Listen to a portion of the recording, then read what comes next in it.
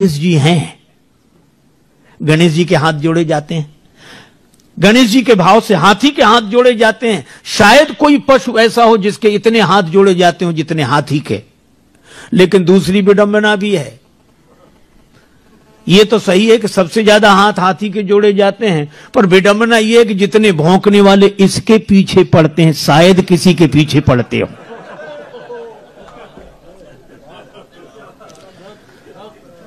ये स्वाभाविक नियम है, जिसकी स्तुति होगी, उसी की निंदा होगी।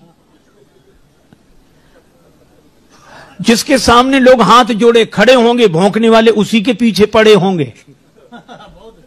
स्वाभाविक नियम है। अच्छा लेकिन एक अद्भुत बात, मैं कई बार सोचता हूँ कि कुत्तों को हाथी से क्या तकलीफ़ काहे को भोंकते हैं ये? अच्छा कुत्ते सचमुच हमारी भाषा समझते होते तो हम ज़रूर पूछते। और कुत्ते एक ही उत्तर देते अगर सच बोलते तो कुत्ते यही कहते कि हमें हाथी से कोई तकलीफ़ नहीं। फिर क्यों भोंकते हुए इसके पीछे पड़े हो? तो कुत्ते कहते, हमें तो इसके आगे जो हाथ जोड़े खड़े हैं, वे सहन नहीं हो रहे हैं, बस।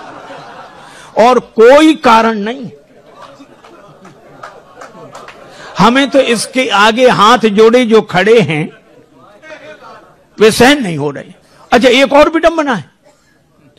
कुत्तों में इतनी हिम्मत नहीं कि आगे आके भौंके।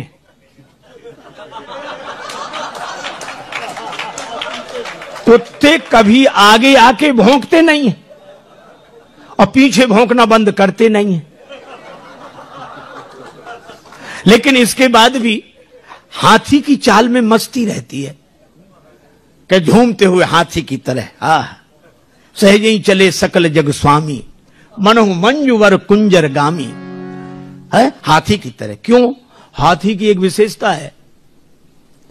वो हाथ जोड़ने वालों के पास ठहरता नहीं है और भौंकने वालों की ओर मुड़कर देखता नहीं है। और मुझे तो हर युग से यही दृश्य दिखाई पड़ता रहा लोगों को और आज भी हमें वही दृश्य दिखाई देता है। हाथ जोड़े लोग खड़े हैं, भौंकने वाले पीछे पड़े हैं, पर भगवान का भक्त मस्त हाथ गजराज की तरह झूमता हुआ भगवान के भरोसे चल रहा है।